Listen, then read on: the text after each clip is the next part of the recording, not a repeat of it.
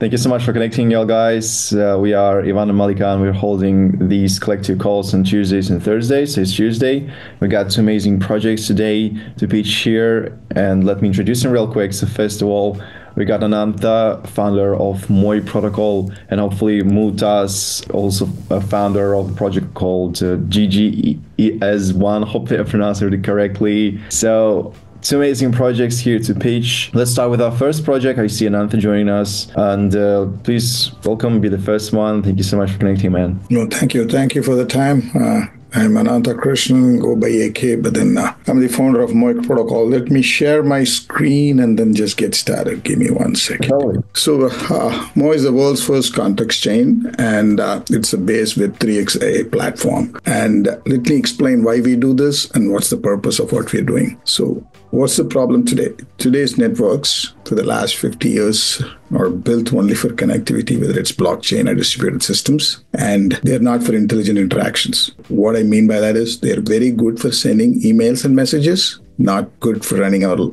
lives through it. So all the intelligence, either it is an asset or a state or the context is all fragmented in your applications, whether it's a smart contract or whether it's an regular Web 2 application. All the intelligence are sitting in the application. So when we go to this new agentic world, when we want to move from one agent to another agent, the intelligence needs to sit at the network level and not at the application level. So that's where you get all this fragmentation, all the problems of uh, uh, liquidity issues and intelligence interactions. So most of the research today is all around just connectivity and not based on how do you st- statefully interact at the network level. So that's the problem today. But the new economy demands that we every interaction be intelligence. Your liquidity moves with you, your states moves with you from one one interaction to another. So what have we solved? We have solved uh, that's the problem. The solution is stateful intelligent networks. Today networks are completely stateless. They are like uh, dumb pipes that you draw. So today's internet is that. So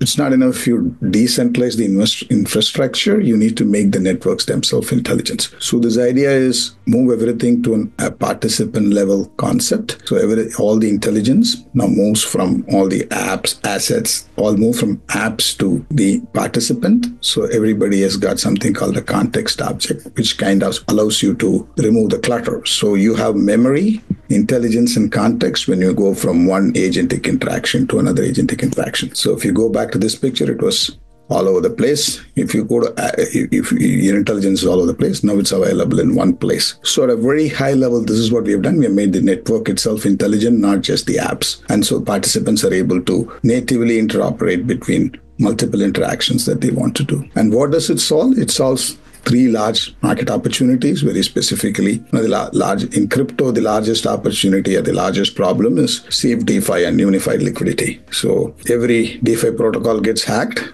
primarily because all the assets are stored as a at the participant at the smart contract level. It's an honeypot. So even recently, Sui got hacked. So this way to solve that is don't have an honeypot, move the assets to participants and manage and, and let the code do only the code work. That's a very large opportunity. The second large opportunity is around uh, Web 2 to Web 3 integrations. Today, it's either Web 2 or Web 3. It's not Web 2 plus Web 3. Assume I have an ERP application and I need to move it to blockchain to provenance, the entire application needs to move. There is no on demand state management.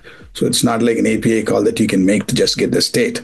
So that's possible in this new model because all the state is available at the participant level. And finally, your agentic interaction, either it's uh, either it is model concept context protocol or A to A. You have all connectivity defined, but then you don't have memory from one interaction to another interaction. So it makes safe AI, on demand, uh, Web 2 to Web 3, and uh, safe DeFi. So, those are the two, three large opportunities that this model can support. Uh, why can't others solve this? So, look at layer one blockchains like Ethereum, Solana. So, he built on the old paradigm. It's an app centric model. So, obviously, smart contracts hold the assets. And so, there is an honeypot right at the start. So, if, if then you need bridges and relays to move from one protocol to another protocol. So the bridge solutions, obviously, bridges by definition are not decentralized. They create problems. Uh, enterprise blockchains like uh, Hedera and uh, uh Hyperledger, uh, again, you need to build a smart contract, and it can't you can't do an on-demand state management. So they're built for traditional applications, not for interaction applications. And agentic platform like Fetch.ai primarily focus on connectivity, not stateful interactions. I've got only five minutes, but I'll very quickly go through this real world example. There is an application called Zug, which works on top of our protocol today. It is trusted email communication between Web 2 and Web 3, but uses the existing pipes, but uses blockchain for trust and provenance. How did we do this? A foundational computation paradigm contextual compute. This is a breakthrough paradigm which we have global patent on we have researched it for the last several years before building this. Uh, I will leave all these slides. So there's traction momentum. I can share this. Uh, um, so the tokenomics, uh, so we have about, uh, it's a deflationary token, it's a utility token, uh, 10 billion tokens. And uh, obviously there is a vesting period for each one of us. The team gets the money at the end, the investor gets money at the first, and, and, and the community along with that. So very, very well structured for long-term value and support from the team. What do they ask? We're trying to raise five to ten million dollars using DI apps. So to date, we have bootstrapped ourselves. We've invested about six and a half million dollars into this project. What is the progress today? So we got 2,000 live nodes running, and we have about almost a thousand plus apps built on top of this at this point. So we got 75 million dollars of TVL locked, and we have a very large and growing developer community. Yeah, Thank you, thank, thank you so much for your pitch, Anata, And uh, yeah, we've already got some questions. Let me read them. Uh, so, if the network itself is now intelligent, what does that mean for traditional smart contracts? Are they basically obsolete your world? So, the smart contracts will still exist, but then it will just focus on the code, not on the state. So, the problem today is the the value and the code are con- con- in, in one place. So, the smart contracts will provide the logic, but uh, the, your state management will happen at the participant and network level. So it, the, the, smart contracts will kind of become like smart agents. Okay, thanks. Hope it answers the question. Another one goes like this: No vault contracts sounds amazing, but how do you make that uh, that work without sacrificing composability or capital efficiency? Very good question. So obviously, composability is what we have solved. So if you look at foundationally, let me go to this picture. Very good question. I think. Uh, so what we have done is today, if you look at the today's internet, the networks are built only for information, which means the composability was at a messaging level, right? So for you to really interoperate, operate, the composability needs to happen at value level. So we have clearly created composability through this. Uh, uh, through participant owning everything, so value gets decomposed. So wherever the participant goes, their intelligence, context, and value goes with them. So, so actually, that's actually the breakthrough. The ability to do composability of value, not just uh, information, is what will drive this new agentic economy. We have solved it through something called IFPCP, a stateful internet protocol, and then build something on top of that. And the second question is this works completely on an completely on a uh, simple hardware like in Raspberry Pi. So the the consensus mechanism is built around participant context and their reputation. So oh, from a standpoint of capital efficiency, it's uh, it's very good. It just scales, and everybody is able to earn enough, and your gas costing is pretty low as well. Okay, thank you so much. Yeah, guys, if you want to connect uh, with the project after the call, here in the chat you can find all the contact details. Yeah, so let me put my QR code as well if anybody is interested please please reach me and i'm more than happy to take the call. So we have done something very foundational. We have written 60000 lines of our own new code new consensus new data structure uh, uh, new protocol new execution new Sybil resistance primarily to drive this a digitally interacting model. That's the attempt here to make interactions smart safe and intelligent Thank you. Great, thanks. And I think, yeah, we've got another question. Most networks die when real world complexity, comple- uh, complexity hits. How does MOI handle messy real life context without turning into a slow, over engineered monster?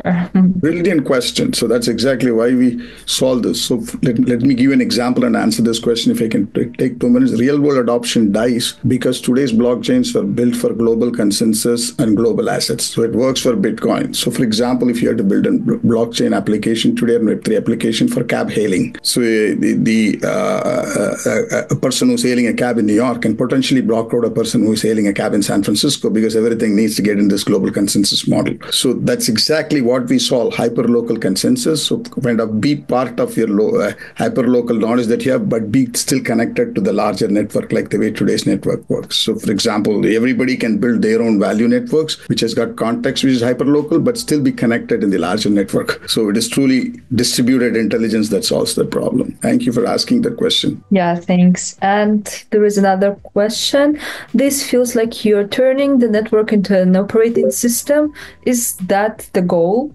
And if we, and if so who's the developer in this new world? So the, the, network becomes intelligent yes network becomes sort of an operating system. The developers are the people who will, who will build those smart agents. You will still need developers but then the idea is uh, the idea is to have a network because we are getting into this network world, so the network should have more intelligence. So the idea, but people will build, build we still have to build the apps. We have to still, I call it as we call it as decentralized intelligent apps, not decentralized apps. So and and so we still will need people to build it. But uh, in today's world, if I were to buy a coffee, were to settle a coffee transaction with the blockchain, and also settle an house purchase transaction in Beverly Hills, both of them are dealt exactly the same way. All resources come for all transactions. So it's a very, very app optimized model. So this will be a very participant and a network optimized model, which allows you to. So still, people will still have to build application, but then the developers will have more control. Their assets are safe. They're able to provide what the user wants at a very dynamic level. Okay, got you. Thanks. And um, yeah, I think we still have some time for questions. Yeah, I have one, Malika. Please allow me uh, this one. So, Nante was really interesting. While we still have time, could you please elaborate on the team and the partners that you're working with and also future plans? Maybe sure. minutes or so. Thank you. Yeah, so my background, I was part of the initial team which built Oracle. So I've been working on distributed systems for a very long time. And then I was a partner with Accenture out of New York running their analytics practice for a while. So I've been in this journey from 2016, got interested because of Bitcoin's uh, ability to do large distributed Byzantine systems. So that's my that's my uh, my background. Uh, along with me, uh, I have I have people who have probably previously worked in Google.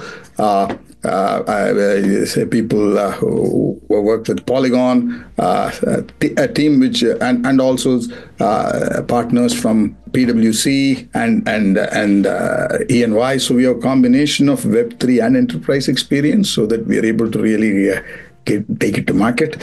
Uh, from a uh, uh, roadmap standpoint, we already have three testnets done. We have 2,000 plus nodes running at this point, and we are in beta mainnet. We are going through audit at this point. The main we have people are building on it, and and and given the large code base, we need to finish the audit. So we we expect our mainnet to be in, in October November timeframe. The TG is in expect to be expected to be in January. That's the uh, uh, two large roadmap items coming up right now. From a technology standpoint, we are working on three things for the next year. One, uh, quantum proof the uh, uh, signature itself so that uh, we don't have that problem kind of we have a unique approach on it because because we are context aware we will use quantum signatures for high value transactions and kind of use the trivial ECDSA for low value transactions. At a, at a, today, that's a problem for a lot of blockchains because uh, if you make it quantum proof, your size goes up, your performance comes down. Here, we are able to intelligently do this. So we'll quantum proof one. Two, we are also uh, looking at an HD, uh, uh, uh privacy enabled blockchain. What I mean by that is most people don't want, most organizations don't want to get into blockchain because they don't want to be on the public ledger on the payload. So, so ability for you to prove but uh, keep the privacy. So that's the other feature that that's coming, and uh, and eventually a fully homomorphic encrypted execution. But that's that's ways off from a technology standpoint. Amazing, thank you. And while we still have time, is there any competition in this field? Just curious. Uh, not really. We are one of the few, few guys. Nobody talks about participant centricity context where we are ahead of the game. The next generation of blockchains, which has got intelligence built into the network itself, right? I don't think most people are talking about it.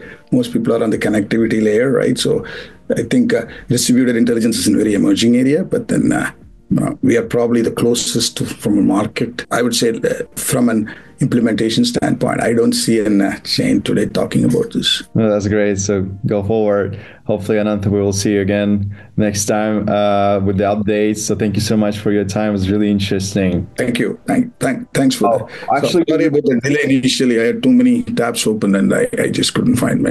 I just received a question. Uh, if you don't mind, we can uh, wrap this up with the last one. So you yeah, said sure. network can remember does that mean agents can actually build persistent memory across interactions? Yes. Like yes, that, that's exactly the point. Give agents the memory. Yes. Okay. Like, will my AI finally stop asking me what I like every time?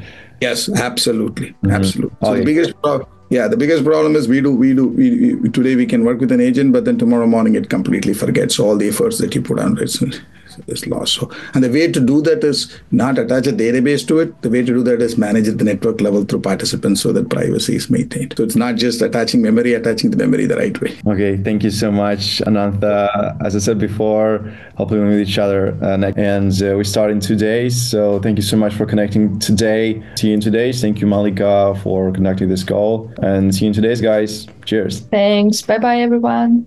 Bye, guys.